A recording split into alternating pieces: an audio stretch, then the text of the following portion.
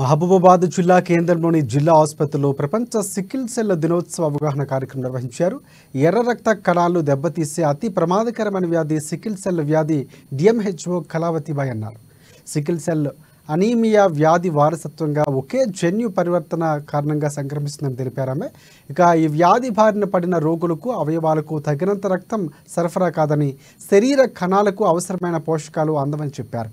ఇక ఆ కార్యక్రమంలో municipal chairman Rammohan Reddy RMO doctor Jagadish వైద్యులు సిబ్బంది పాల్గొన్నారు. డెఫినెట్గా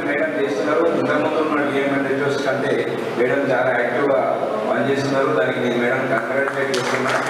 నేను నేను కూడా డాక్టర్ను ఎంఎస్ చేస్తున్నాను అంటే నాలెడ్జ్ అనేది ఏ డిపార్ట్మెంట్స్ ఆ డిపార్ట్మెంటే అయిపోతుందనే దానికి నిదర్శనం నేను చెప్తున్నా. ఎందుకంటే మేము ఇంత చదివినాము ఎలిమినేషన్ ఎట్లా ఉంటుంది అని కొంచెంసేపు మేడంతో కూడా డిస్కస్ చేసి ఎలిమినేషన్ ఉండదు కదా.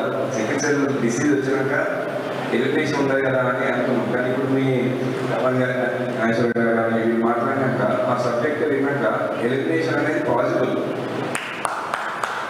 ఎట్లా అంటే వీళ్ళు మనం ఐడెంటిఫై కానీ డిసీజ్ ఐడెంటిఫై అయ్యి మొత్తం ప్రాబ్లమ్స్ వాళ్ళని ఐడెంటిఫై వాళ్ళకి వాళ్ళ ప్రదేశము నియంత్రించడం